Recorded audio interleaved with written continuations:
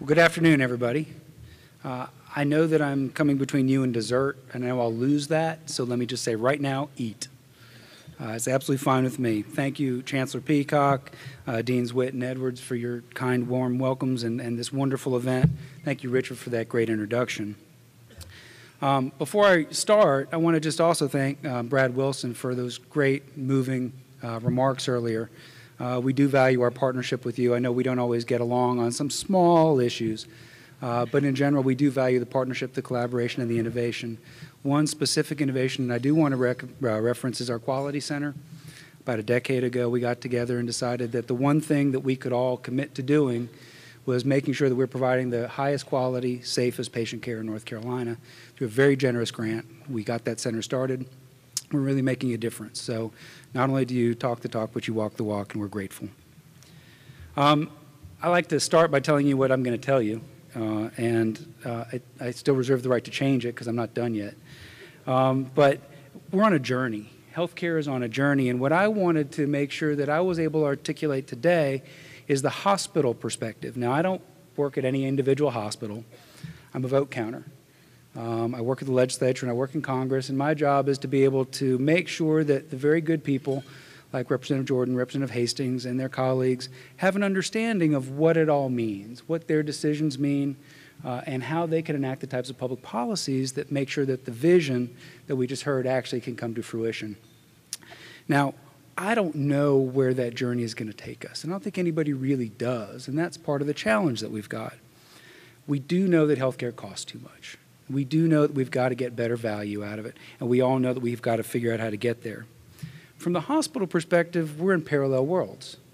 Right? So we talked about the volume-based system, we talked about the value-based system. Well, we're moving towards value. We know that we have to, we're committed to it.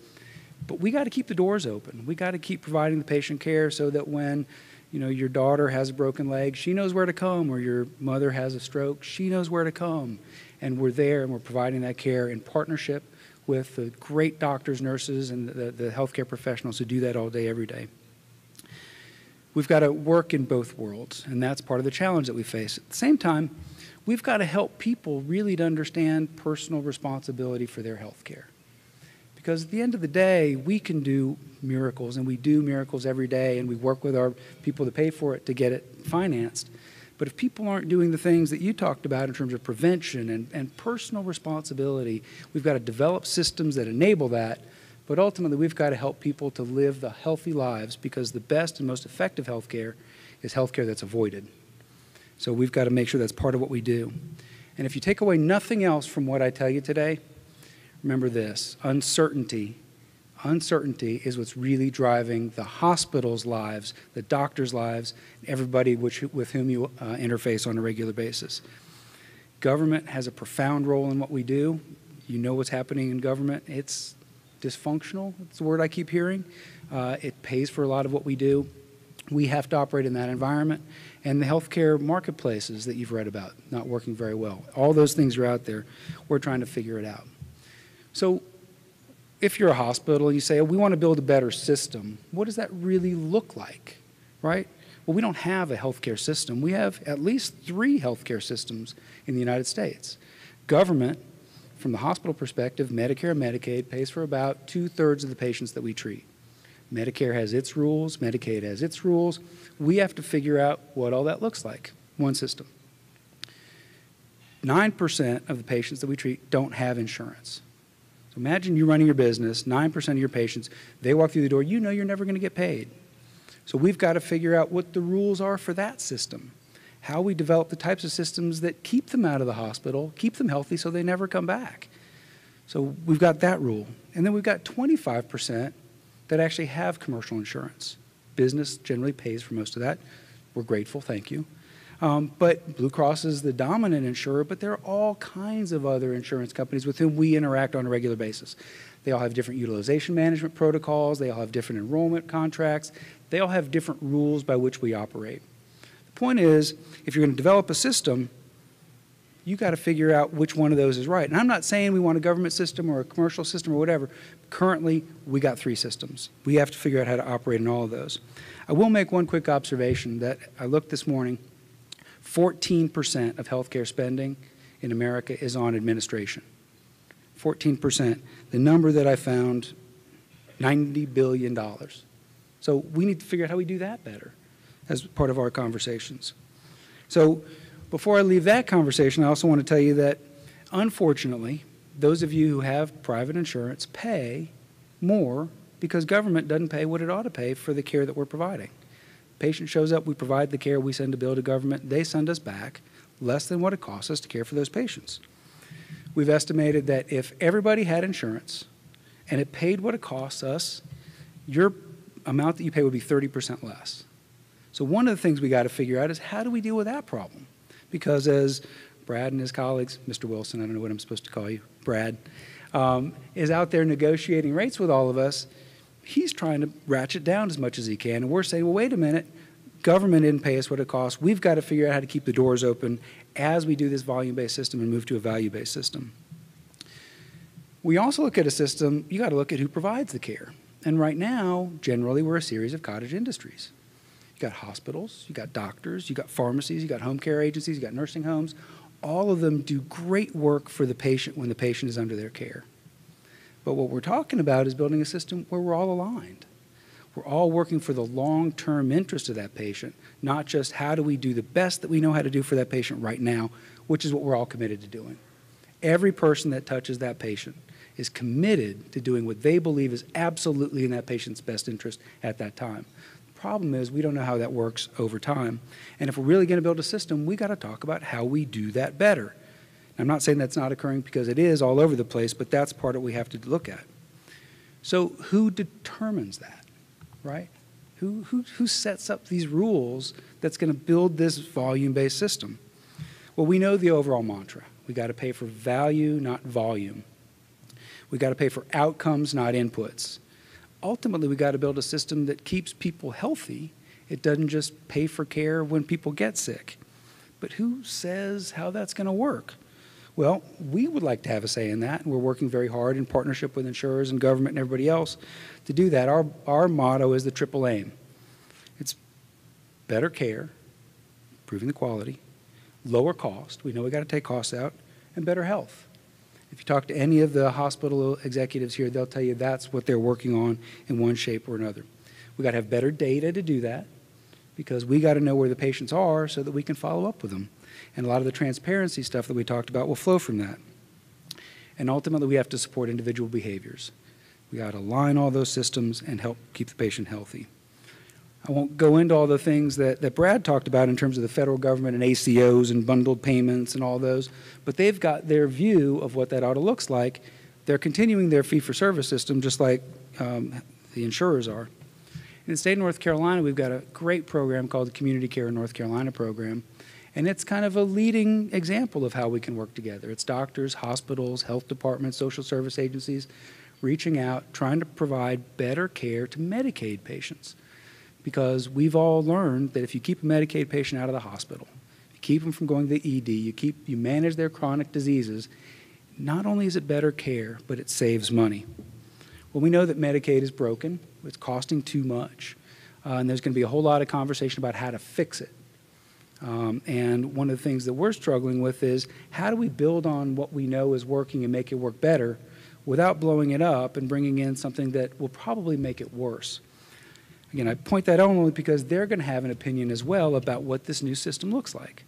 So again, we've got three systems. We're trying to figure out how we make them all work together.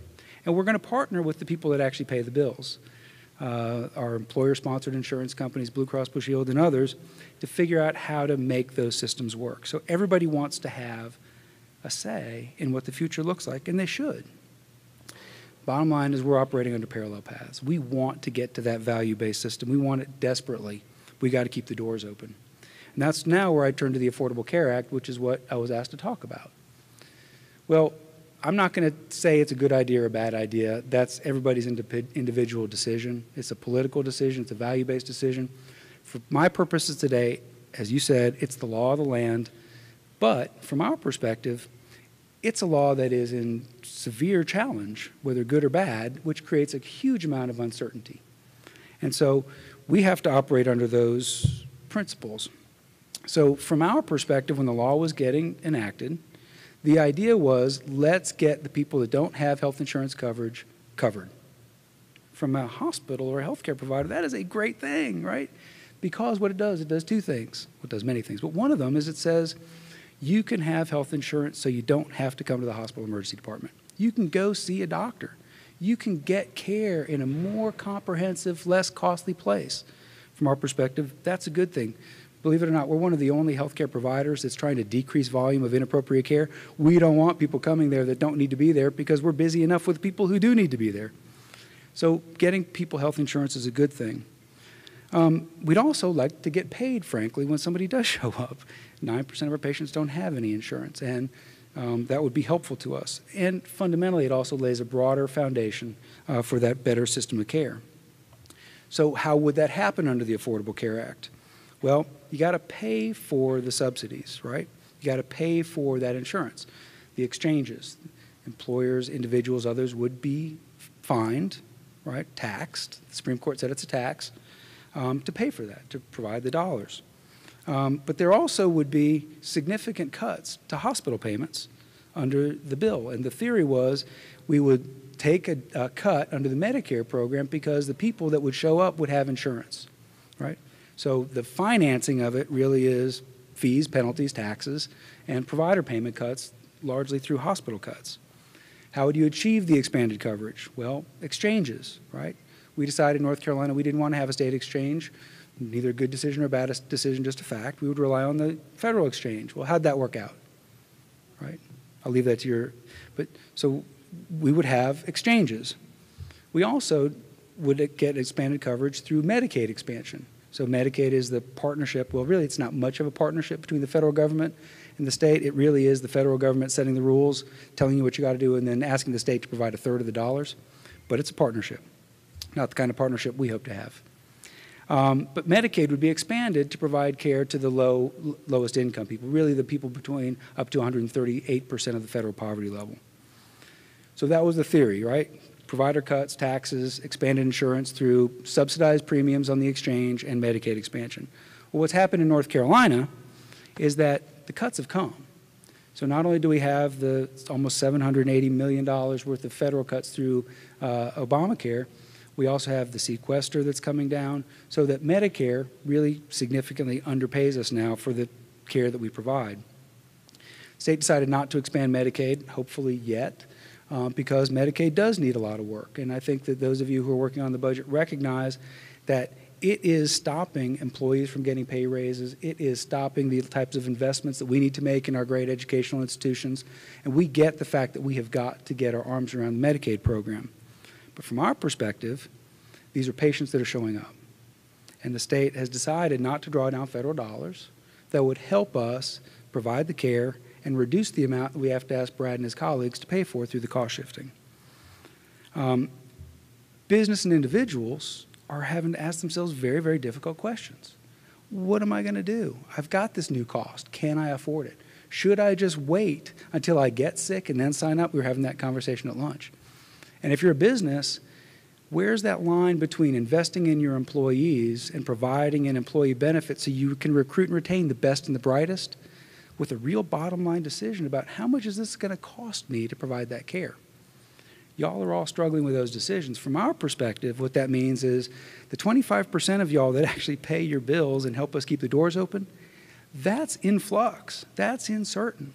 We know government's cutting us we're counting on y'all, and y'all are making rational business decisions that will, affect all the things that we do all day, every day. So the Affordable Care Act for us is providing a tremendous amount of uncertainty. Now, again, we get the fact we got to change. We get the fact we got to take costs out. So what are we doing? Well, 90% of the hospitals in North Carolina are public or nonprofit. 90%. So what does that mean? Well, that means we have to have a margin, no margin, no mission, right? But if we do have a margin, we reinvest it in goods and services and, and employees back in our community. But we got to cut costs. We don't have a choice. So our hospitals are doing lean management. They're looking all over to try to figure out how to do what they do better. Because we don't have a choice. It's the right thing to do. We have to be good stewards of the taxpayer dollar and of your dollars. We're also laying off a lot of people. You may have read in the papers So far, we estimate about 2,000 layoffs have occurred in North Carolina's hospitals. We expect by the time all these cuts flow through to have about 10,000 jobs eliminated in hospitals in North Carolina over the next year. Again, we have to take costs out. Unfortunately, we're going to ask you to pay more. Um, we don't have a choice. We will cut and cut and cut to the best that we can. We will never sacrifice quality. You made that very clear in your investment in us. We will never sacrifice quality, but we're going to have to figure out how we do all that. So the bottom line from my perspective is that great Chinese saying, may you live in interesting times. We live in very interesting times. Uh, from the hospital perspective, as these government cuts continue to roll through, you're going to see job losses. You're going to see consolidation. Doctors are trying to figure out, can I even stay doing this? They don't want to invest in the IT systems. They don't want to invest in the management. They don't want to do. They want to practice medicine. They want to care for patients. They want us to manage it. So they're coming to us to do that. Smaller systems, smaller hospitals are ask, having to ask themselves, can I go at it alone? So they'll partner with larger systems to get efficiencies, to be able to purchase goods more cost effectively. Why do banks merge? So they can consolidate, so they can be more efficient. That's why hospitals are doing it too. We don't have a choice. We got to make sure we're still responsive to our communities, but you're going to see a lot more of that. Um, we're going to continue to focus on quality. Every time I have a board meeting, every time we talk about this, my members say we will never sacrifice quality. We will cut a service before we do anything that's going to impair the quality of care that we deliver to our community. We're also going to keep working towards the triple aim. We know it's the right thing to do. We will have to uh, develop those incentives, and we have to get to where we need to get. Please take this away. Working together, as we talked about earlier, we can and we will and we must build this better system. We don't have a choice. Your community hospitals, as I said, are nonprofit and public organizations.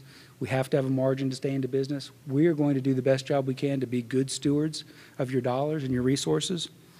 We're going to have to use the data that's available to make sure that we're doing that. And we're going to ask y'all to hold us accountable too. Right? We're going to ask y'all to look at those data. Come work with us and try to figure out how can we do it better because you're going to have more chances to do that. We're going to work with you on personal accountability. We talked uh, across the way about healthcare powers of attorney, um, end of life types of decision making. Make sure you have those. Talk to your family members. We've got to engage, if not as a society, individually, one by one by one, to ask ourselves those difficult questions because the best and most cost effective healthcare is what? Healthcare you don't consume because you're taking care of yourself. Together we can do that.